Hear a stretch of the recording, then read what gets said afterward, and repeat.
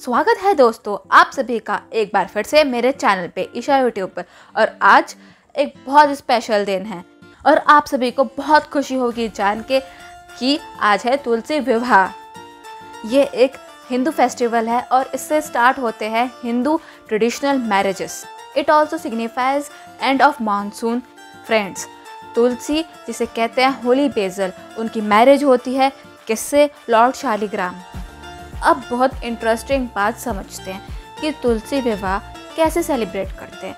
तुलसी विवाह जो married women's होती हैं, वो फास्ट रखती हैं अपने वेलबींग ऑफ़ हस्बैंड के लिए फैमिली मेंबर्स के लिए। जो विडोज़ होती हैं, वो इसका पार्ट नहीं बन सकती।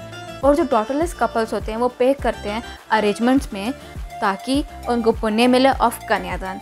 सबसे ज़रूरी बात ये किस दिन मनाया जाता है? ये कार्तिक शुक्ला एकादशी के दिन मनाया जाता है। Thanks for watching. Stay tuned.